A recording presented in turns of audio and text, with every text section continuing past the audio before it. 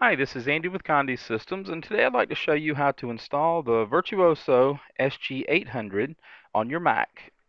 Uh, you're going to need two files. The first file you're going to need is going to be the ICC profile. Now, we'll email this to you from our tech support department, so you'll have to request the ICC profile if you do not have it already. Um, once you get the email, just download the attached profile to your desktop. The second file you're going to need is going to be the driver file. Um, the driver file will be located on our website. It's currently not there, so I will show you where to find it. Once you go to conde.com, of course, the first thing you do is log into PartnerNet. And then from there, under printer support, there will be a listing for Sawgrass printers.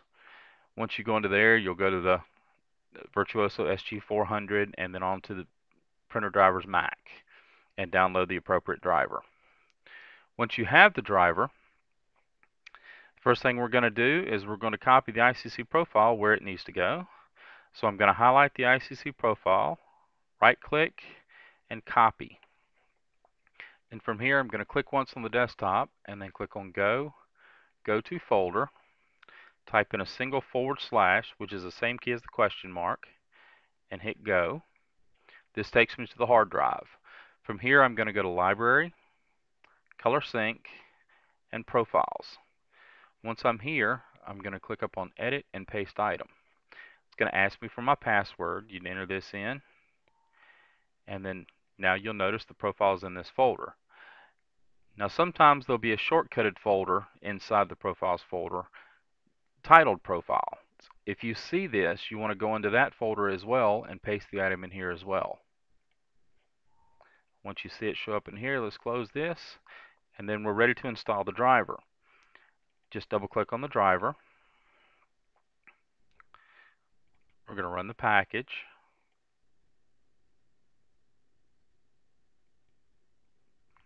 I agree. Install. It's going to ask me for my password again. We'll hit install package. And once this is finished, we'll close it out and then just connect the printer to the computer. Once you've connected you can go under System Preferences, Printers and Scanners, and you will see the SG800. Now if you have an attached bypass tray, you go under Options and Supplies, go to Options, and make sure bypass tray is checked. If you have the additional tray, you do the same thing with that. Once we have this installed, we're ready to configure everything. So we'll open our graphics software. Now for this demonstration, I'm going to be using Adobe Photoshop Elements. I had it open, so I need to close it and reopen it because I've, I've installed the profile. So once we do that, we're going to open a new blank document.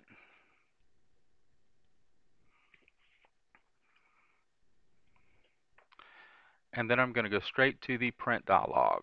We'll click on File and Print. The first thing we need to do is configure the color management in the print dialog.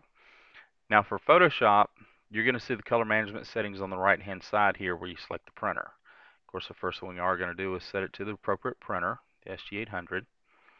On Adobe Illustrator, you're going to see menus on the left with an option for color management.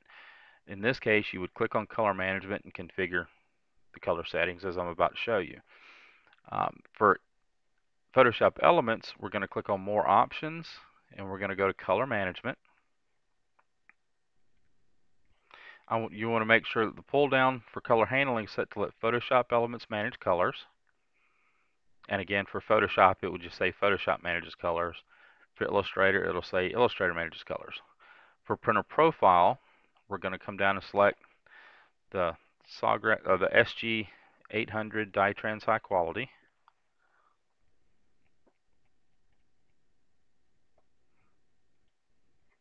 And we want to make sure that the rendering intent is set to perceptual. Once we have these set, we're ready to configure the driver.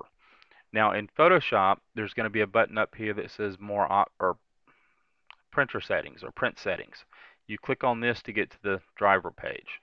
In Illustrator, there's going to be a button in the bottom that either says printer or setup. You would click on that to get to the driver settings. In Illustrator, we're going to hit print and it takes us to the second screen. I'm going to ignore this print warning because it's a blank page. That's why we're getting it.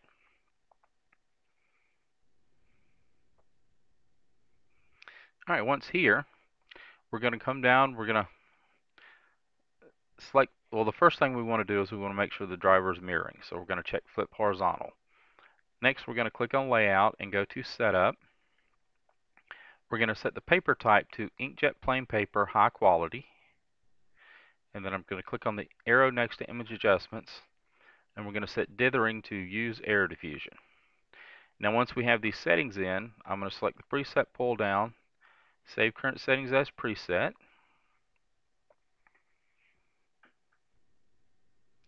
And I'm going to name this Conde ICC. Once we click on that, you'll notice you now have the Conde ICC option in the presets pull down. At that point, you just want to make sure this is selected and you would hit save or print. If I hit print from elements, it's going to try to print, so I'm just going to cancel out here. Uh, once you have this done, you're actually ready to go. If you have any questions about this or anything else we have here at Conde, just give us a call at 1-800-826-6332, option 2 for technical support, or send us an email to support at conde.com. Thank you.